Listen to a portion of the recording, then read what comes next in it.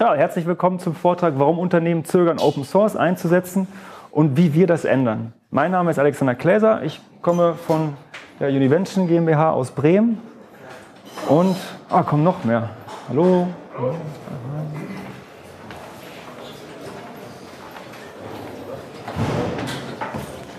Ja, es stimmt. Ist das eine gute Idee, wenn wir den freien Platz hier zusammenfassen? Den freien Platz zusammenfassen? Achso. genau, bitte, bitte schön zusammen. Und die zuletzt kommen, kommen in die erste Reihe einfach. Ja, hier ist auch noch. Ansonsten gerne auch mal so ein Shift auf die andere Seite, das ist auch gut.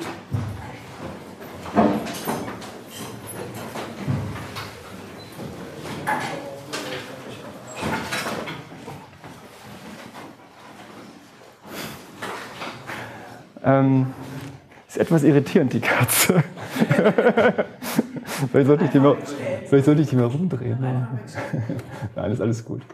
Ähm, okay, jetzt, jetzt fange ich nochmal an. Also herzlich willkommen zum Vortrag, warum Unternehmen zögern, Open Source einzusetzen und wie wir das ändern oder versuchen zu ändern, sagen wir es mal so. Ähm, mein Name ist Alexander Kläser. Ich bin von der Univention GmbH aus Bremen und sage mal kurz, was wir machen oder wer wir sind. Ist ein bisschen schwierig. Ich fange einfach mal irgendwo an. Historische Daten, gegründet 2002. Wir machen 100% Open Source Software. Unser Hauptsitz ist in Bremen. Wir haben auch Büros in Berlin mit Mitarbeitern und in äh, Seattle. Sind ungefähr insgesamt 50 Leute. Und wir werden von, wir werden von 5000 Organisationen eingesetzt und haben ungefähr 1600 Kunden mit Enterprise-Subskription und unterschiedliche Kooperationspartner, also ob Systemintegratoren sind, ob andere Softwarehersteller sind, genau, oder andere Partnerunternehmen, äh, Cloud Service Provider, unterschiedliche Kooperationspartner. Und ich bin bei Univention seit 2010. Ich habe auch hier an der äh, Hochschule studiert vorher und mache dort äh, mittlerweile, kümmere ich mich sehr stark um unser Web-Frontend zur Administration des ganzen Systems, auch mit Usability-Aspekten, die sehr wichtig sind. Ähm, kümmere mich auch mit um das Design, arbeite mit Grafikern zusammen, äh, bilde auch aus und mache eine ganze Menge andere Sachen auch mehr. Also nicht nur Oberfläche, sondern auch Untergrund, also äh, Backend auch. Und warum, warum machen wir das Ganze und was ist unser eigentlicher Antrieb? Warum gibt es Univention? Naja, erstmal, wir finden Open Source toll und wir denken, dass Open Source das Potenzial hat, die Welt zu verändern und dass es der richtige Weg ist. Ähm, ein anderer Motivationsfaktor ist, auch aus dem Open Source Gedanken heraus, ähm, es gibt so viele Tools, mit denen man die IT so viel einfacher machen kann und IT einfach nutzbar für andere Anwender machen kann. Und wir wollen einfachen Zugriff auf IT-Lösungen anderer Hersteller ermöglichen. Und ganz wichtig ist uns auch eine Freiheit, dadurch durch diese Sachen mit Open Source Freiheit und Unabhängigkeit in der IT zu ermöglichen, dass der Anwender, Benutzer immer wechseln kann, dass wir offene Systeme haben. Das ist unser eigentlicher Antrieb. Und wann kommen wir zum Einsatz? Ähm, das ist so ein, typisch, so ein typisches Szenario, wie man sehen kann. Äh, wann setzt man Univention ein? Das kommt dann zum Einsatz, wenn man typischerweise eine größere Organisation hat, auch eine kleinere, auch kein Problem. Man hat mehrere Arbeitsplatzrechner hier, man hat viele Benutzer, jetzt sind es hier nur drei, aber es können ganz, ganz viele sein, können Tausende sein. Und man hat eine ganze Infrastruktur, wo natürlich auch Mail-Services dazugehören, Print und File-Sharing und alles Mögliche. Aber so ein typisches Szenario, wo das eigentlich klar wird, wo man solche Software braucht, ist, ja, ich habe einen neuen oder ich habe einen Mitarbeiter, der verlässt das Unternehmen oder kommt neu ins Unternehmen und da möchte ich mit einem Klick ein Benutzerkonto anlegen, sodass äh, wenn er neu reinkommt, er Zugriff auf Mail hat, Zugriff auf irgendwelche Wikis, vielleicht auf irgendwelche Cloud-Dienste, die genutzt werden. Und genauso, wenn ein Mitarbeiter das Unternehmen verlässt, möchte ich diesen Zugriff mit einem Klick auch abschalten können. Also nicht, dass er noch irgendwelche Konten hat, über die er nachher noch Zugriff auf interne Dokumente hat. Das ist so ein typisches Einsatzszenario. Und da kann es auch sehr gut sein, dass wir hier eine Hauptfiliale haben oder den Hauptstandort. Wir haben mehrere Zweigstellen, die natürlich irgendwie über die Server angeschlossen werden sollen. Das ist so ein normaler Einsatzbereich von uns. So, jetzt kann man natürlich sagen, jetzt kommen wir zum Titel des äh, Vortrags, das kann man doch schon alles mit Linux machen. Identity Management, da haben wir OpenLDAP, Integration von Windows-Clients, ja, Samba gibt's doch, ist doch auch überhaupt kein Problem. DNS, DHCP sowieso kein Problem. Drucker, gut, CAPS ist auch super. Virtualisierung, egal was ich nehme, LibVirt, KVM, äh, das gibt's auch alles. Cloud-Anbindungen, OpenStack gibt's, super. Es gibt super Libs für EC2 und Docker für Containerization und alles. Ist doch alles da. Und da kann man sagen, ein klares Ja, aber. Prinzipiell ist alles da, doch was ist mit der Einfachheit der Benutz der ganzen Lösung? Wenn ich die jetzt im Unternehmen habe und ich möchte eine bestimmte Lösung haben, wie einfach und wie schnell kriege ich die ans Laufen? Wie gut kann ich sie administrieren? Habe ich verlässliche Vertragspartner, die mir ein Supportangebot geben können und die mir, wenn ich in der Patsche sitze, raushelfen. Ähm, was ist mit Kompatibilität von Standards im Enterprise-Umfeld? Werden die auch eingehalten? Funktioniert das? Ähm, was ist mit einer Wirtschaftlichkeitsbetrachtung? Muss ich mir das alles selber, das Know-how aufbauen, alles selber zusammenstellen? Oder funktioniert das out of the box? Ähm, was ist mit Garantien über Funktionalitäten? Wenn ich ein Unternehmen habe, möchte ich auch sicherstellen, dass wirklich das, was ich brauche, auch funktioniert. Und wenn es nicht funktioniert, möchte ich jemanden haftbar dafür machen. Ähm, was ist mit planbaren Update-Zyklen? Was ist mit dem ganzen Know-how über die Eigenheiten von irgendwelchen Komponenten tief unten im System? Und was ist mit Wartbarkeit von Konfigurationen, die ich angepasst habe oder von Code, den ich gegebenenfalls erstellt habe? Und eine Antwort darauf ist UCS. Das ist, das, das ist unser Produkt, was wir machen bei Univention. UCS ist der Univention Corporate Server. Ähm, und was wir machen, ist im Prinzip, man kann das so ein bisschen verbildlich darstellen, naja, wir verkaufen Wasser in Flaschen. Also wenn ich eine kritische Mission habe und bin in den Subtropen oder in den tropischen Bereichen, dann bin ich schon ganz froh, wenn ich eine Flasche Wasser habe, die ich trinken kann. Denn äh, da weiß ich, die, die sichert mir eine bestimmte Qualität des Wassers zu und ich muss mir keine Gedanken machen, ob ich bestimmtes Wasser im Umkreis trinken kann oder nicht. Das ist so ein bisschen bildlich. Ähm, naja, unser UCS ist äh, Debian-basiert, 100% Open Source. Und alles das, was ich eben aufgelistet habe, das gibt es da im Prinzip. Also Garantie für Funktionalitäten, für Schnittstellen, für Updates. Es funktioniert direkt out of the box. Äh, ich kann unterschiedliche, ich entweder Windows, Macintosh oder Linux Clients an das System hängen. Ich habe ein Single Point of Administration, wo ich ein Benutzerkonto anlegen kann und alle Rechte direkt an diesem einen Benutzerkonto konfigurieren kann. Also ich habe nicht mehrere unterschiedliche Punkte, wo ich Sachen konfigurieren muss. Und es gibt so ein bisschen der Gedanke von Android. UCS ist im Serverbereich wie eine Plattform, auf der es unterschiedliche Lösungen von Drittherstellern gibt. Und die Lösung kann man einfach wie bei Android als Apps über ein App Center installieren und diese integrieren sich dann nahtlos in das ganze System rein. Und ja, der Betrieb geht auch auf eigene Hardware in der Cloud oder gemischten Umfeld Hybrid. Ähm, und es gibt verlässliche Vertragspartner, also wir oder andere Partner von uns. Das ist im Prinzip das, was äh, UCS bietet. Technisch interessant ist es jetzt, wie wir das überhaupt realisieren, also welche Mechanismen wir machen, um diese Flasche für das ganze Wasser äh, zu erstellen, wie die einzelnen Komponenten ineinander greifen, wie der Domain-Kontext des gesamten Netzes äh, sichergestellt wird. Und da möchte ich alle mal einladen, einen Blick mit unter die Motorhaube zu werfen. Sieht ungefähr so, ja nicht wirklich. Ähm, ich lasse es einen Moment mal stehen und auf alle wirken.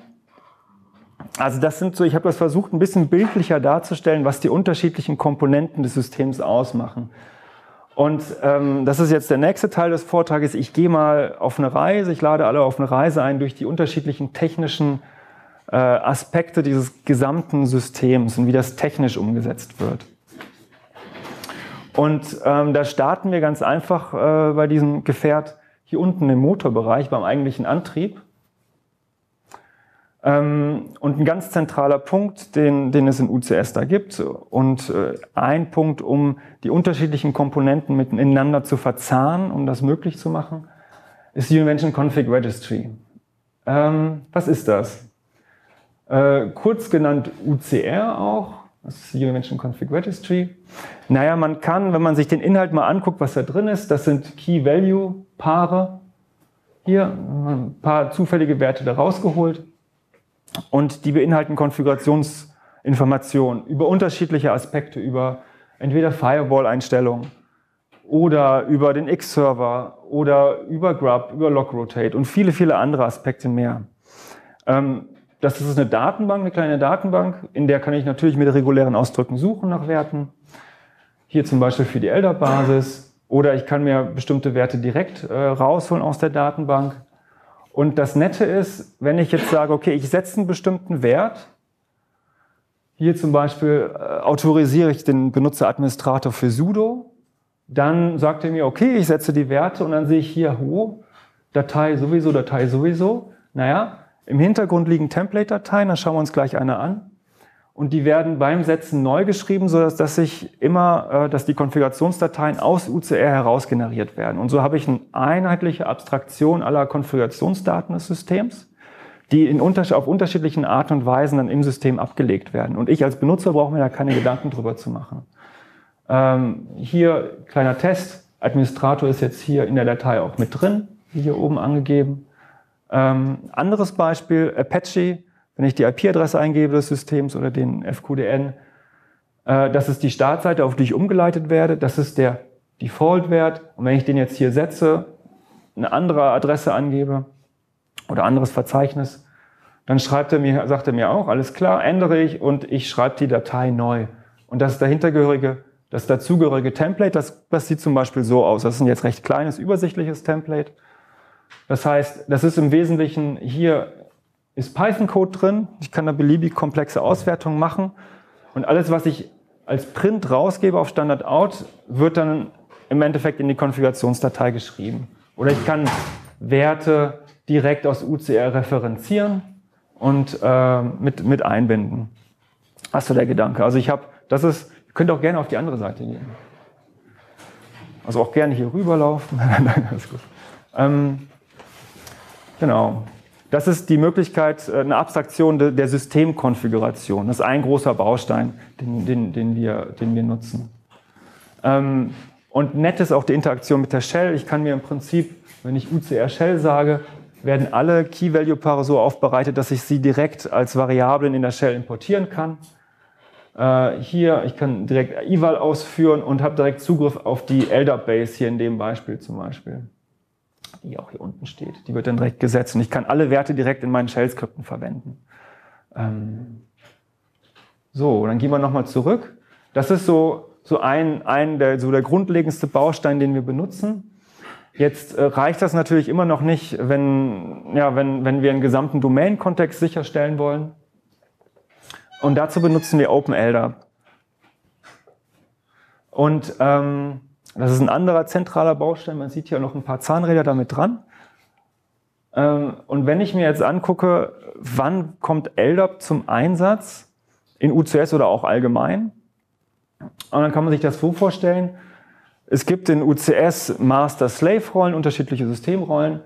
Und ähm, der Master hier, äh, auf dem kann geschrieben werden und der repliziert seine Änderungen zu allen, die registriert sind.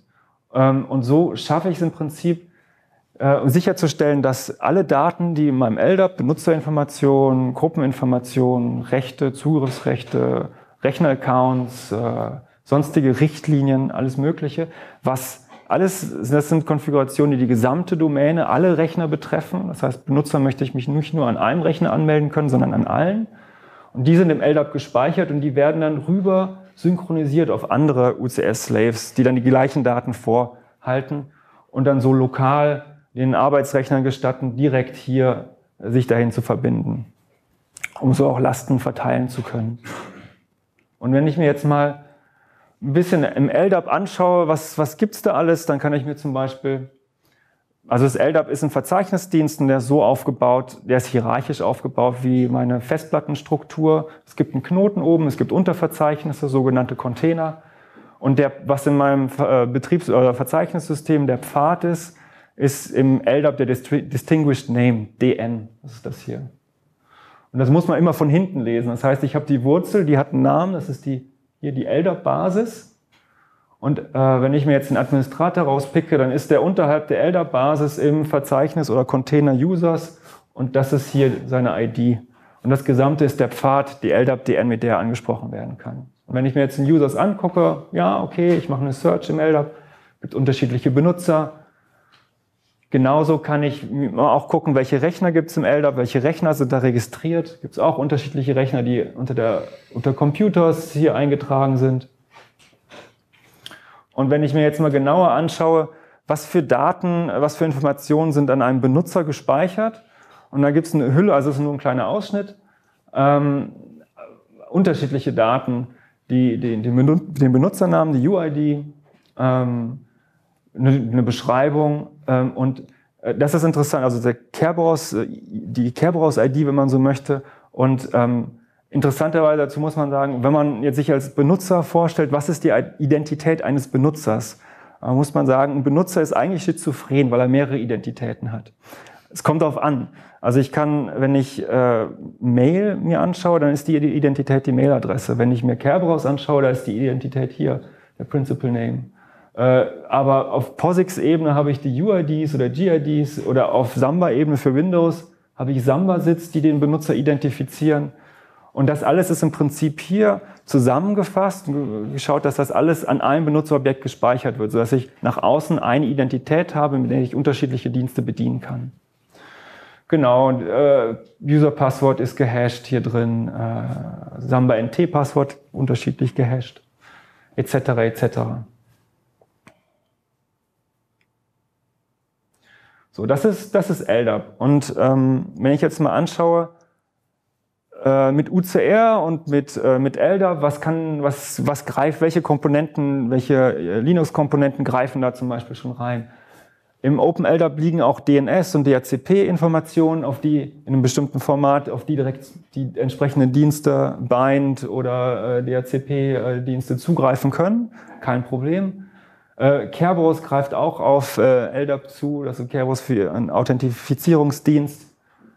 Äh, zu Namensauflösungen, Libraries, Dienste, die greifen auch auf LDAP zu.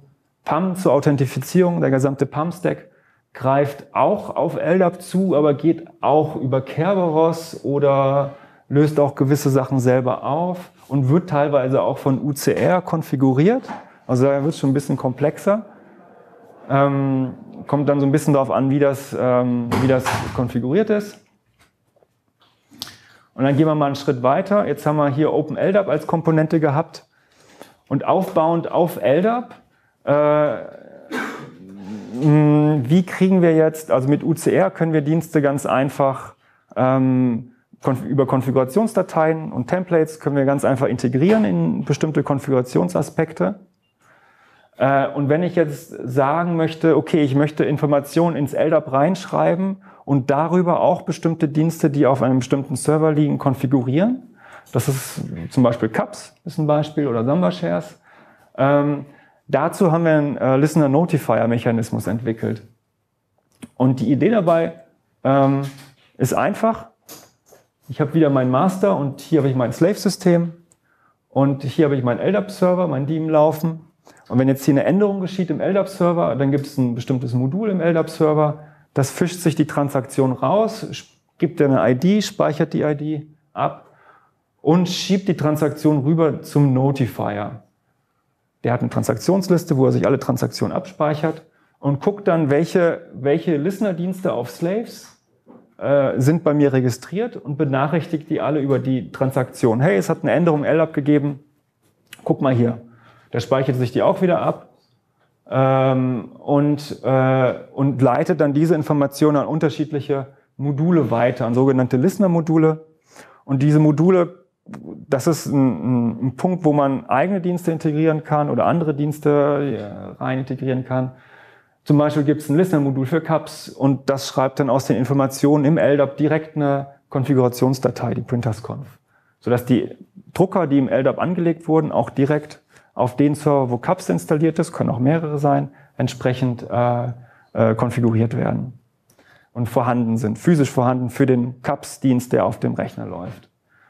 Oder Samba-Shares, das heißt, ich kann im LDAP ein bestimmtes Share anlegen und der Rechner, auf dem das Share liegt, der sieht dann, oh, das bin ja ich und konfiguriert entsprechend über die SMB-Conf, dass wie die Zugriffe auch immer da ähm, äh, verteilt worden sind. Und die eigentliche äh, Replikation, das heißt die Replikation der LDAP-Inhalte auf die unterschiedlichen Slaves, die läuft auch über diesen Mechanismus. Und ich habe mal hier ein ganz äh, minimales Beispiel für ein, für ein Listener-Modul äh, gemacht. Wir arbeiten sehr, sehr viel mit Python. Und äh, insofern ist das in Python geschrieben. Es hat einen Namen, eine Beschreibung, okay. Und äh, ich kann einen Filter angeben, der kann beliebig einfach oder komplex sein. Hier der Filter, der sucht sich im Prinzip unterschiedliche Accounts raus, Mail-Accounts, POSIX-Accounts, Samba-Accounts, äh, allgemeine Personen-Accounts, äh, stellt sicher, dass diese Accounts keine Rechner-Accounts sind äh, und auch keinen UID Number 0 haben. Ähm, und sagt dann, ich bin an folgenden Attributen, LDAP-Attributen interessiert. Und immer wenn es, wenn es Änderungen gibt, Transaktionen, die genau auf diese Filter matchen, dann wird eine Händlerfunktion aufgerufen. Und in dieser Händlerfunktion kann man dann äh, sagen, alles klar, ähm, ähm, wurde, kann man gucken, ob jetzt was gelöscht wurde oder ob was hinzugefügt wurde oder geändert wurde. Gibt es auch noch eine Option, um zu sehen, dass etwas verschoben wurde. Und dann kann man die entsprechenden Routinen äh, einleiten, die man dann für, den, für die Integration des entsprechenden Dienstes machen möchte. Alles klar. Ähm, also hier sieht man nochmal, CAPS greift dann quasi auf diesen äh, Listener-Notifier-Mechanismus zu. Quota-Regelungen genauso, die hängen hier auch dran äh, Samba-Shares und die, äh, die, die Replikation der LDAP-Daten. Dazu muss man auch wissen, damals, als wir die, äh, das konzipiert haben, gab es, mittlerweile kann OpenLDAP ja auch replizieren, ähm, aber das gab es damals noch nicht und dazu hat man das auch entwickelt. Genau, gehen wir mal einen Schritt weiter in diese gelbe Ecke. Da steht Univention Directory Manager. Was ist das denn? Ähm, das kann man im Prinzip, ist eine sehr nette Abstraktion von LDAP in Python. Das heißt, es ermöglicht mir komplexe Zusammenhänge programmatisch in Python quasi miteinander zu verzahnen und nach außen eine einfache Schnittstelle anzubieten. Ähm, einfaches Beispiel, hier merke ich mir erstmal die letzte Transaktions-ID, die auf meinem System, also auf LDAP-Ebene, die auf äh, meinem System äh, durchgeführt wurde und ich erstelle ein einfaches Computerobjekt. Okay, ist ja eigentlich nicht viel dabei, könnte man meinen. Ich sage, wo das liegen soll im LDAP, gebe ihm einen Namen, eine MAC-Adresse, die kenne ich schon, und weise einem Netzwerk zu. Es gibt Netzwerkobjekte, die Netzwerkeinstellungen kapseln. So. Und dann kriege ich die Meldung, alles klar, wurde angelegt. Und wenn ich jetzt unter die Motorhaube mal schaue, in LDAP, was, was hat sich denn alles getan, bis er mir gesagt hat, ja, wurde angelegt? Dann sehe ich, das ist noch nicht alles, da gab es eine ganze Menge Einzelschritte, die, die das Modul für mich abgenommen hat und den LDAP umgesetzt hat. Ich fange mal hier oben an. M für Modified, A für Edit, D ist Delete. Das heißt, es gibt hier einige temporäre Objekte, die funktionieren so ein bisschen so wie so ein File-Locking-Mechanismus, um sicherzustellen, dass es keine konkurrierenden gleichzeitige Prozesse gibt, die auch die gleiche UUID-Nummer, äh, die gleiche UID äh, zum Beispiel anlegen wollen. Ähm, aber wenn ich mir die einzelnen äh, Schritte in LDAP anschaue, sehe ich, okay, am Netzwerkobjekt wird irgendwas geändert, dann gibt es ein paar temporäre Objekte, die angelegt werden. Alles, die sind alle eindeutig, äh, gehen ein bisschen weiter und dann sehe ich, äh, wo es, genau hier unten wird das erste Mal der eigentliche, wenn Eindeutigkeit sichergestellt ist, wird das erste Mal der, der Rechner, das Rechnerobjekt im LDAP angelegt. Dann wird noch was gelöscht, an temporären Objekt und dann sehe ich, alles klar, dann wird das Objekt noch ein bisschen verändert. Die Gruppe, zu der, das, zu der der Rechner zugehört wird, wird auch verändert hier. Und dann werden entsprechende DNS-Einträge und Reverse-Einträge vorgenommen. Die sind ja nicht am Rechnerobjekt gespeichert eigentlich, sondern irgendwo anders im LDAP. Und es werden nochmal am Ende temporäre Objekte gelöscht. Das, und das alles, wenn ich mir jetzt aber nochmal angucke, okay, ich habe meine Rechnerobjekt über UDM äh, angelegt. Zeigt mir mal, was da alles drin ist. Naja, hier habe ich eine einfache Darstellung, äh, was mir diese ganzen Details über DNS-Einträge, DHCP-Einträge, Gruppenzugehörigkeiten und sowas abstrahiert und abnimmt. Und dann sehe ich hier die Domäne, also habe einen einfachen Zugriff. Sehe ich die Domäne, die IP, welches Netzwerkobjekt dazugehört, MAC-Adresse. Also IP wurde automatisch dann zugefügt welche Gruppenzugehörigkeiten, DNS-Einträge, FQDN, Sambarit etc. Und das Das, das ist im Prinzip dieser gelbe, dieser gelbe Kasten hier. Und jetzt schauen wir uns mal ein bisschen, gehen wir ein bisschen nach oben und, und schauen uns Samba an. Äh, dazu muss man wissen, dass ähm, ab Samba 4 äh, bringt Samba, also Samba, ab Samba 4 bringt Samba AD-Funktionalitäten mit und Samba kommt, äh, kommt mit einem eigenen LDAP-Server. Und in diesem LDAP-Server sind, also hier unten ist der Open LDAP-Server, das ist nicht der Open LDAP-Server. Samba hat einen eigenen LDAP-Server hier oben drin und wo die Daten auch unterschiedlich abgespeichert sind. Das heißt, die, der LDAP-Server hier und hier oben, die sind nicht kompatibel hat man natürlich ein Problem, weil OpenLDAP wird von vielen Linux-Anwendungen genutzt, äh, ist de facto Standard, aber damit kommen, ja, im AD kommt damit nicht klar. Also äh, haben wir darauf aufbauend so einen Connector geschrieben, der, der alle Änderungen von Samba nach LDAP rüber äh, synchronisiert und von LDAP zurück nach Samba, also bidirektional.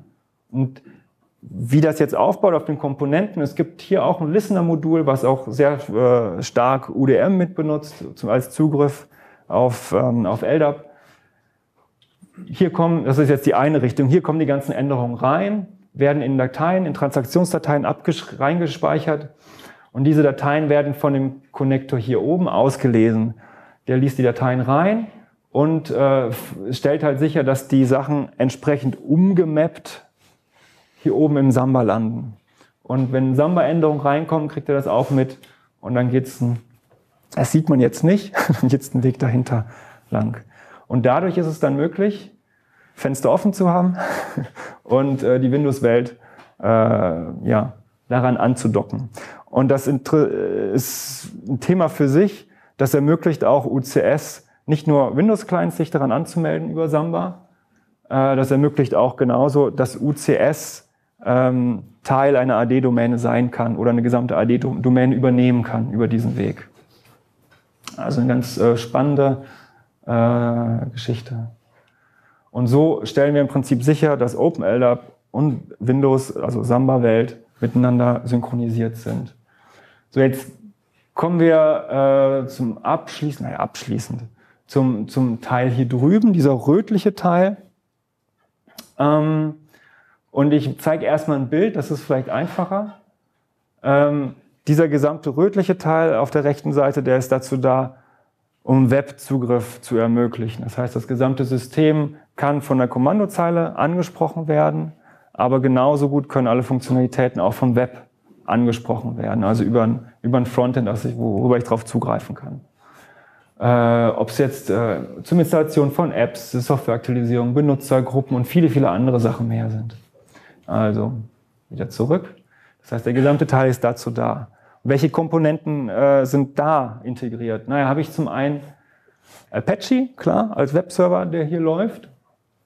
Ich habe bestimmte, wenn ich jetzt mir UDM rausgreife, genauso wie ich eine UDM-Schnittstelle auf der Kommandozeile habe, habe ich hier ein JavaScript-Modul äh, auf der Seite, JavaScript-Code. Und wenn der im Browser ausgeführt wird, äh, stellt er sich auf eine gewisse Weise dar, zeige ich gleich mal. Und es werden die einzelnen Daten, die werden dann vom Server geholt und dabei ist der Zugriff dann durch den Apache, die HTTP-Requests werden um, äh, ummoduliert in, äh, in ein eigenes Protokoll und dann hier ist dann der Server, der dann für das JavaScript-Modul den Server-Teil, der in Python auch wieder geschrieben ist, aufruft. Das ist ein Python-Modul hier. Und der greift dann in dem Fall hier auf äh, UDM zu, bereitet die Daten auf und schickt sie wieder zurück, sodass sie hier dargestellt werden können. Ähm, und das sieht dann, sieht dann zum Beispiel so aus, wenn ich mir jetzt das Rechnerobjekt anschaue, was ich eben angelegt habe, dann sieht man hier, alles klar, sieht so ein bisschen aus wie auf der Kommandozeile, nur anders aufgearbeitet. Es hat ein Layout, ein Layout ähm, ähm, MyLinux war der Rechner. Ich habe hier äh, DNS-Einstellungen, DHCP ist hier nicht aktiviert. Und ich kann genauso gut Benutzer halt nicht nur auf der Kommandozeile, sondern auch hierüber anlegen. Oder wenn ich meinen Benutzeradministrator sehe hier, und dann gibt es viele, viele andere ähm, ähm, äh, Konfigurationsdetails, die ich mir anschauen kann. Ich kann sogar auch so weit gehen, dass ich eigene, dass ich die Sachen erweitere. Ich kann mit LDAP-Objekten UDM erweitern. Das ist ein bisschen verwirrend erstmal. um dann ähm, neue Felder zu schaffen, dynamisch, die hier angezeigt werden können. So, und es gibt auch wieder ein anderer Teil, äh, da gehe ich jetzt nur ein bisschen oberflächlich drauf ein, ist Virtualisierung. Es gibt zum Beispiel hier äh, eine Schnittstelle äh, oder ein Webmodul, wo ich meine Virtualisierungsserver sehe und anschalten, stoppen kann, anlegen kann. Und das läuft dann natürlich auch hier hin. Und das Python-Modul auf der Seite, das benutzt UDM natürlich, aber benutzt auch wieder einen anderen Virtualisierungssteam von uns, der wieder libvirt verwendet und KVM. libvirt verwendet wieder KVM. Oder libcloud, das ist eine lib zu, zum Ansprechen von Cloud-Diensten im EC2-Format, wo man dann äh, Amazon EC2-Instanzen direkt ran ansprechen kann oder OpenStack-Instanzen, das dann alles hier übers Web Frontend äh, bedienen kann. Ähm, genau das gibt es zum Beispiel auch. Oder eine andere Komponente ist äh, SAML Identity Provider. SAML ist ein Protokoll, was mir ein Single Sign-On im Web ermöglicht. Eine ganz interessante Geschichte. Äh, und das, das macht es möglich, dass ich ein Konto eines Mitarbeiters dann auf einen Klick auch sperren kann bei Google Apps for Work oder Office 365 oder Salesforce oder wie auch immer. Das geht mit, mit dieser Komponente hier, dadurch, dass ich ein Single Sign-On auf der Stelle dann unterbinde. Genau. Aber ist auch ein eigenes Thema für sich. Ähm, und ähm, die letzte, der letzte Aspekt hier, der, der, den ich noch ansprechen möchte, ähm, ich habe gesagt, dass wir eine Plattform äh, versuchen darzustellen für andere Hersteller, die Softwareanwendungen haben. Ähm, und das nennen wir das App Center. Das heißt, wie ich den Google Play Store habe, wie ich, äh, wie ich den Apple Store habe, so haben wir ein App Center. Das sieht dann so aus, wo man im Prinzip unterschiedliche, gerade Open Source Anwendungen, ob es jetzt Agorum ist zur Dokumentenverwaltung, Bacula für Backups, Odoo für ERP, CRM-Lösungen, OwnCloud für File-Sharing, Zarafa oder Open Exchange für Groupware-Lösungen, Moby Dick für äh, IP-Telefonie oder was, was auch immer. Ähm, es gibt viele, mittlerweile glaube ich 80 äh, Apps, die hier integriert sind, die ich dann, wenn ich auf eine App klicke, sieht das dann so aus und ich kann sie einfach auf ein, auswählen, auf welchem Server die App installiert werden soll. Und die Garantie ist dann einmal installiert, das funktioniert und äh, wenn ich sage, okay, das brauche ich für mein Unternehmen, dann kann man sich die Lizenz kaufen. Äh, und damit auch Support und Haftung ähm, in Anspruch nehmen. Genau, und dazu sind Informationsmaterial, äh, Screenshots, Videos und weitere Informationen. Wer der Ansprechpartner ist jetzt für diese App, steht alles da mit dabei. Genau. Ähm, und, und diese Apps sind in UCS, äh, wir sind auf dem Weg, alle gesamten Apps in Container auszulagern, dass jede App schön in ihrem eigenen Docker-Container, das sieht man hier unten, läuft, abgeschottet vom System. Derzeit werden teilweise Apps noch direkt auf dem System mit installiert.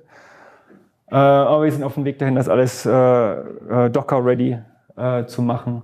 Und auch jetzt schon werden einige Apps da rein installiert. Und ähm, so habe ich dann wiederum eine andere Komponente Docker hier als Möglichkeit, zusätzliche Erweiterungen abgeschottet vom System, schön sauber gesandboxed zu betreiben und zu installieren. Und für ein Unternehmen oder für eine größere Organisation, das hat dann die Möglichkeit, je nach seinen Bedürfnissen sich Lösungen rauszupicken und die dann äh, recht einfach zu installieren und in Betrieb zu nehmen. Genau, und wir ermöglichen es so, zum Einsatz Softwarehersteller zusammenzubringen, mit auch unter anderem mit Rechenzentren und so als Plattform dann Binde, Bindestück darzustellen. Das ist so Gesamt, äh, Gesamttour hier durch das System.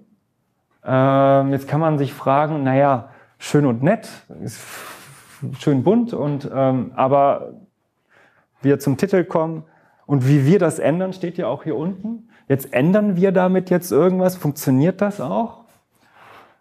Und ja, kann man durchaus sagen. Also ein klares Ja. Wenn man sich hier anschaut, wie viele UCS-Systeme äh, im Einsatz sind, von zweiten Hälfte 2014 bis heute gab es da schon einen sehr einen 2,5-fachen Anstieg ungefähr.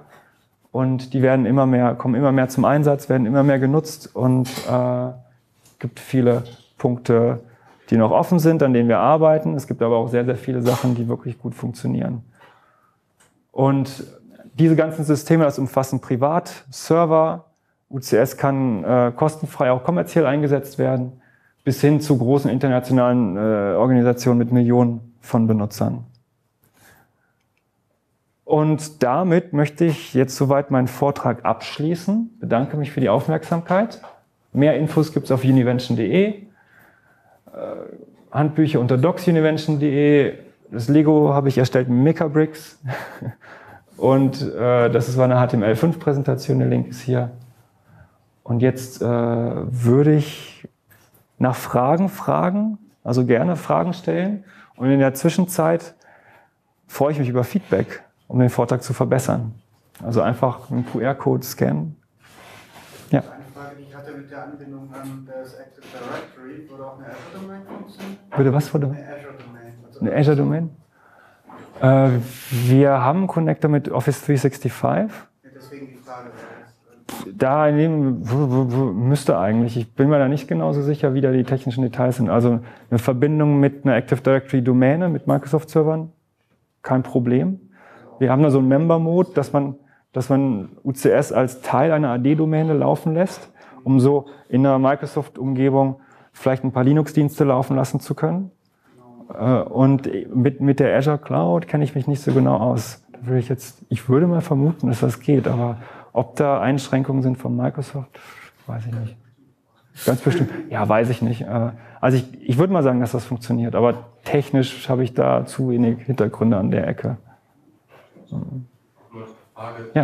auf deinen Titel. Warum Unternehmen? Vielleicht können wir es mal differenzieren. Ja. Wir sagen klein mittelständische Unternehmen, erste, zweite Konzerne dritten vielleicht NGOs oder sowas wie öffentliche Behörden. Ja. Kannst dazu ein bisschen was sagen? Weil das Gegenbeispiel von mir oder von Projekt und Python, Softwareverband, mhm. überall in Ingenieursausbildung wird MATLAB Simulink eingesetzt. Und es wird auch bei den Stellenausschreibungen schon gefordert. Das ist fast so, wenn du im Sekretariat sagst, äh, Microsoft Office. Mhm. Wie kommen wir davon weg? Und was können da Gründe sein? Was habt ihr für Erfahrungen da gemacht? Weil ich denke, diese vier Zielgruppen handeln ja ein bisschen unterschiedlich sowohl die Entscheidungsträger, die Budgets mhm. und auch die Entscheidungswege. Welche Erfahrungen habt ihr da so gemacht? Welche Erfahrung, wer das jetzt genau einsetzt? Also zur ersten Frage, ist die Frage, wer das einsetzt? Organisation, sag ich mal, zögern. Und was sind die Hauptprobleme? Wo können wir da ansetzen? Ähm, ja, die, Haupt, äh, die, die Hauptprobleme ist im Prinzip, was wir immer beobachtet haben, es gibt alle möglichen Komponenten. Das hatte ich versucht, auf der einen Slide so ein bisschen darzustellen. Es gibt viele Komponenten, es ist eigentlich alles da. Aber ich muss alles selber in der Regel von Hand zusammenstecken und gucken, dass alles läuft. Und da gibt es äh, Organisationen, Unternehmen, die das machen, mit welcher Motivation auch immer, sei es aus Open Source Affinität, sei es ja aus einfach Glauben in, in Open Source. Ähm, aber sehr, sehr viele kommen dann auch schnell an einen Punkt, wo sie sagen, okay, wir haben das jetzt gepatcht, das hier angepasst und da, jetzt kommt das Update, uah, da müssen wir gucken, das, das, das, das ist eine ganze Menge Arbeit, weil es ja eigentlich eine Distributionspflege ist. Und dann kommt Heartbleed oder Shellshock, äh, sind, kann ich rechtzeitig liefern, dass die Lücken auch geschlossen werden. Das ist ja, das ist die Frage. Und da kommen viele äh, an einen Punkt, wo sie sagen, das ist nicht mehr wirtschaftlich für uns, das äh, zu betreiben. Und da gibt es von den Kunden, die wir haben, sind es unterschiedlichste. Sind es ist ein Administrationsproblem, soweit ich das Ist ein Entwicklungsproblem. Ja, Beispiel Compliance-Auflagen. Firmen haben Compliance-Auflagen, dass sie kein Excel mehr einsetzen. Mhm. Ähm, du hast Source, also Sourcen, die geschlossen sind, immer schwierig zu verifizieren, validieren. In bestimmten Bereichen gibt es ja die Independent Software Verification Validation. Das ist gerade interessant, dass wir sagen, über Python zum Beispiel bestimmte Tools, die man glaubt, sie nicht ersetzen. Ein Beispiel. Ja. Ähnliche Sachen können ja auch so Treiber sein. Also eigentlich möchte ich ein bisschen Treiber wissen, was können wir tun, weil die großen Organisationen, die großen Firmen setzen Lobbying, Geld ein. Mhm die ist natürlich bei uns ein bisschen anders aus. Äh, was man da tun kann, also was kann man tun, um Unternehmen zu Open Source zu bewegen? Ist das so ein bisschen? Compliance war ein Com Thema, ja. Das ist nur für bestimmte relevant. Mhm. Also jetzt unabhängig von dem Thema, was wir. Also ich glaube, unsere ähm, Erfahrung ist da soweit, wie ich sie so wahrnehme, ist, dass man diese Einfachheit der Benutzung Ease of Use ist, glaube ich, da ein ganz, ganz entscheidender Knackpunkt. Es nützt mir nichts, wenn ich vielleicht als IT-Affiner und nicht unbedingt Entwickler etwas einsetze, wo ich dann tagelang rumdoktore und konfiguriere und mir graue Haare äh, kommen darüber, bis das Ding endlich funktioniert. Und dann im entscheidenden Fall auch, wenn mein Chef äh, Montagmorgen, das System ist ausgefallen, er kommt dann zu mir und sagt, äh, was machen wir jetzt? Und ich sage, naja, ich habe mir die Sachen von da und da runtergezogen, das zusammengetan, das weiß jetzt auch nicht, warum das funktioniert, ist das ungünstig. Also wenn man da auch, gerade im Enterprise-Umfeld, da will man eigentlich das outsourcen, genauso wie man sagt, ich will keine eigene IT-Hardware haben, sondern ich, ich möchte das so beziehen. Aber ich möchte trotzdem auf der anderen Seite, also auf einerseits eine bestimmte Haftung und jemanden, den ich haftbar machen kann. Und auf der anderen Seite ähm, ähm, ja die Offenheit, die auch immer zu wechseln, dass ich in das System reingucken kann und sage, jetzt hole ich aber meine Daten raus. Ist ein Riesenproblem auch für Cloud-Angebote. Ich weiß nicht, ob das die Frage beantwortet. Paar Aspekte. Aber ich glaube, die Einfachheit, dass ich es nehme, es funktioniert, ist halt auch ein Aspekt, den Open Source nicht immer so gerecht würde. Ja. Also da im Anschluss, man kann ja vielleicht nochmal die andere Richtung schieben und sagen, ähm, können wir Software, die nicht Open Source ist, überhaupt vertrauen? Also ich meine, wir können ja überhaupt was, irgendwas reinschreiben und da mal eine große, dicke Kampagne fahren. Ich finde, das ist auf Dauer schon relativ überzeugend, dass nicht irgendwelche Drohnen, sonstige Geräte ähm, teilweise alle hier in Closed Source ankommen, selbstfahrende Autos, was weiß ich nicht alles. Wir wissen alle gar nicht, was die machen. Also ich finde, das ist ein gesellschaftlicher Anspruch. Netzwerk oder dem Runterzwang, da wo die Telefonie möglich oder WLAN möglicherweise unsicher ist. Also ich kann das nochmal wiederholen fürs Mikrofon.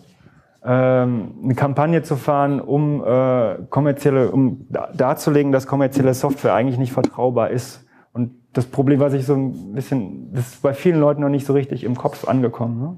Aber wenn man sich so umguckt im täglichen Umfeld, ist es auch so, naja, letzten Endes, ich meine, wer, wer weiß, wer hat wirklich ein Open, also Handy zum Beispiel, Hand hoch, wessen Handy ist komplett. Open Source bei Handys gibt's, gibt's noch nicht. Ja, genau. Aber da. Ich habe das bei mir bei meinem Laptop, da habe ich sogar, die, sogar das BIOS komplett frei. Das ist ein gebrauchtes Modell von 2008. Ja. Da gibt es jetzt ein Projekt so wirklich bis in die, bis in die tiefste Hardware rein. Alles so weit wie möglich zu öffnen. Das ist aber einsatztauglich für jeden, für Laien ist es nicht. Ja, das ist, das ist glaube ich, da dieses Ease of Use Problem. Mit ganz wenigen an und ja. Dann werden mehr. Da investiere ich jetzt auch Geld, auch wenn es nur 100 Euro sind, in diese Computerkarte, die, wo man dann selber das Ding upgraden kann, wo man die Hardware selbst modularer macht. So auf, dass es dann irgendwann auch in dem äh, Open äh, Hardware-Bereich besser mehr Leuten zugänglich werden kann. Ne? Ich weiß nicht, ob das noch anderen aufgefallen ist. Ich habe die Beobachtung auf jeden Fall äh, gemacht, dass die äh, Firmen Geld in die Hand nehmen und wenn irgendwas nicht läuft, dann heißt es immer, ja, jetzt noch einmal die 200 Euro für die und die Lizenz und äh, jetzt noch einmal und dann geht es doch, dann können wir doch mit dieser Closed Source Variante leben. Und dann ist wieder irgendwas und dann nochmal und jetzt nochmal investieren. Und, und dann, wenn man sagt, aber so geht das doch auf Dauer nicht weiter, dann dann heißt es dann, wir haben jetzt so und so viel tausend Euro investiert, das können wir doch nicht alles hinwerfen. Und dann wird man immer so wie so ein kleiner Junge so ein bisschen angeguckt, weil, weil man steht dort mit seinen Vorstellungen und hat eigentlich voll die guten Ideen. Und am Ende äh, heißt es, nö, da wurde jetzt zu viel Geld reingepumpt und wenn dann lieber nochmal 200 Euro mehr, als, äh, als dass wir unser System komplett umstellen. Ähm, das, das, das kann man so ein bisschen zusammenfassen als Lemming-Effekt würde ich sagen. Es ist auch, äh, also wurde angesprochen, dass ähm, ja, im proprietären Umfeld ist es oft, man setzt etwas ein, es funktioniert nicht und dann muss man nochmal ein Upgrade kaufen und nochmal das hinzufügen und dann nochmal 200 Euro ausgeben und am Ende hat man schon so viel ausgegeben, dass man es irgendwann nicht mehr hingeben möchte.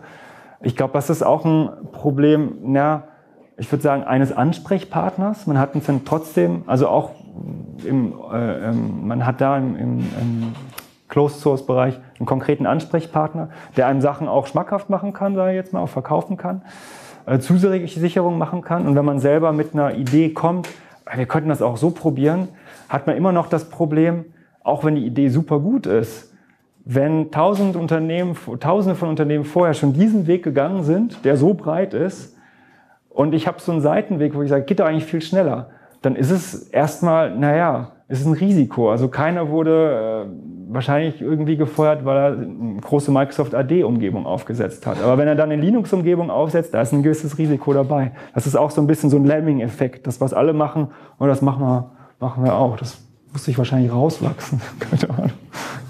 Guter Aspekt auf jeden Fall, ja. Der Fachausdruck für das gerade angewandt ist der sogenannte Sunk Cost Fallacy, also die versunkenen Kosten. Ähm, aber wie dem auch sei, ähm, du hast gerade den QR-Code angesprochen mit dem, Feedback. Ähm, ja. Ich bin jemand, der sehr ungern äh, Feedback, äh, sich hinter dem Feedback-Formular äh, versteckt, deswegen möchte ich das offen ansprechen. Und zwar, ich weiß nicht, ob es nur mir so geht, aber ich fand, dass der Vortrag und der Inhalt nicht wirklich gemerkt haben. Also mhm. für mich hatte die das Metaebene. Also ich bin hier reingekommen in der Erwartung, hier so dass wir ein bisschen darüber, so ein bisschen über die Metaebene sprechen, eine Beschreibung dessen, was ihr als Univention macht. Ja, das ist gut, das will ich auch gar nicht schlecht reden, aber das war nicht das, wo ich mit der Erwartung hier reingekommen bin. Ich will jetzt nicht so weit gehen zu sagen, das hat Motto Thema verfehlt, aber es war schon wirklich eine ganz, ganz andere Richtung als das, was ich äh, zu mir Alles klar. Hast du die Inhaltsbeschreibung, hat ihr das? Ich habe auch gelesen und auch da muss ich sagen, wenn, ich, wenn, du jetzt von Microsoft wärst, dann hätte ich dir jetzt unterstellt, dass du ganz böse versucht hast, mich mit falschen Vorsätzen sozusagen reinzulocken. Weil du rückblickend kann man doch an manchen Stellen sagen, okay, das, das hat so, das ist so leicht angeklungen, aber nochmal, ich habe gerade am Ende nochmal drüber gelesen, mhm. die Beschreibung. Und für mich ist auch nochmal, wenn ich sozusagen mit dem Wissen, was ich vorher habe, hier reingegangen bin, schon wirklich so, dass ich sage, also da ist schon das legitim zu sagen, dass man da ein bisschen überrascht ist, was da äh, von, von dir vorgetragen wurde. Alles klar. Das ist das, was ich erwartet habe. Alles klar. Wer findet das auch? Ich wollte ja eine Brücke bauen. Alles klar, ungefähr die Hälfte. Ja. Ich wollte eine Brücke bauen, was sind die T-Issues? Ja? Also, das ist schon vorgetragen Sachen, mhm. aber warum Unternehmen Circle? Oder ich sage ja nicht Unternehmen. Das sind ja Legal Entities. Ja? Mhm. Also, das für Rechtsformen, etc. Profit Loss und so weiter. etc. Also, was für Organisationsstrukturen? Da gibt es sehr unterschiedliche Ansätze. Stadt äh, München, glaube ich, Linux, geht das wieder, weiß ich gar nicht. Reine Kartoffeln, Außenkartoffeln. Es gibt viele Ansätze. Und wenn ich nach Berlin gehe, ja, mir anschaue, da hat Google, Microsoft, also äh, Veranstaltungen, nur Lobbyisten. Das ist nicht gut Geld, ganz locker. Ja. Und ähm, wir sind auch bei unseren Europitons und sonst was, ähm, die versuchen schon massiv Einfluss auf alles zu nehmen. Hm. Und dann ist die Frage, wie kommen wir voran? Wenn Transparenz ist ein Thema, Compliance für einige äh, wird eine Excel-Sheet gemacht, das war nicht mehr erlaubt. Ja. Das ist aus der SEC raus. Du musst nachweisen, dass deine ganze Toolkette, im Wissenschaftlichen kennen wir das, oder du zur Hauptfachler, zivile, hm. musst du nachweisen. Wenn Tools das nicht bringen, hast du ein Problem, nicht nur Haftungsproblem. Ich möchte dann vielleicht dann nochmal ganz kurz. Ja, also solch, so, sowas wurde eher erwartet, dass man mehr über die Prinzipien spricht, wie kann man Unternehmen dazu bringen, Open Source einzusetzen. Das, ich, ich, ich, hatte, ich hatte versucht, diese Brücke zu schlagen, einerseits von so unseren Erfahrungswerten, was wir, was wir eigentlich so im, in der Arbeit mit unserem System gemerkt haben, dass die Leute Garantien brauchen etc. Das ist, was ich am Anfang genannt habe, wo die Probleme liegen. Und dann aber andererseits, vielleicht war das nicht ganz klar herausgestellt, habe ich mich dann sehr auf den technischen Aspekt fokussiert. Okay, und wie kann man jetzt insbesondere den Ease of Use, dass das im Prinzip out of the box funktioniert, was kann man da tun und was mussten wir da tun, um diese unterschiedlichen Komponenten zusammenzubringen. Aber es ist vielleicht nochmal eine Sache, dass ich besser herausstellen kann im Titel, das stimmt. Richtig, genau. Also wie gesagt, ich, ich unterstelle auch nichts Böses dabei. Mhm. Das ist halt einfach, ähm, ich glaube, wenn der, der, Titel anders gewesen wäre, dann wäre man auch hier reingekommen, dann wäre man auch, also wäre ich auch zumindest in diesem Sinne zufriedener gewesen und hätte gewusst, okay, darauf stelle ich mich ein. Alles klar. Das ist sozusagen die technische Beschreibung, die technische Seite ist. Ja, okay, danke. Noch andere Anmerkungen? Eine Anmerkung? Dazu kurz, ähm, es genauso. Ich habe da nochmal nachgelesen. Ein Unterschied ist vor allem, dass die kurze Beschreibung im gedruckten Heft, was ich die meiste Zeit veröffentlichte, da ging es, da wurde gar nicht darauf eingegangen, mhm. auf Technik eingehst. In der langen Beschreibung im Netz steht es tatsächlich im letzten Absatz. Äh, ich war genauso überrascht, ich habe da noch mal reingeguckt. Das das stand halt ganz hinten. Das, also der technische Aspekt, der war nicht in der, in der Kurzbeschreibung da. Ne? Ja. ja. Das wusste ich nicht, welche Beschreibung wo genau wie dargestellt wird. Ne? Aber guter Hinweis. Alles klar. Andere Anmerkungen?